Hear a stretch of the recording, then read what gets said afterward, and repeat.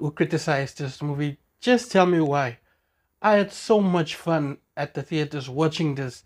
It starts out as a normal spy thriller and then it gets weird. It gets really weird. Thankfully, I really do love weird. Bryce Dallas Howard and Sam Rockwell does an amazing job. They are the perfect duo to lead this movie. I know the way the names are listed is a little confusing since some of these people aren't even main characters according to me.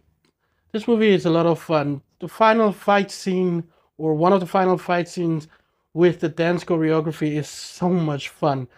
I loved my butt off and I enjoyed it. It's action filled. The story is amazing.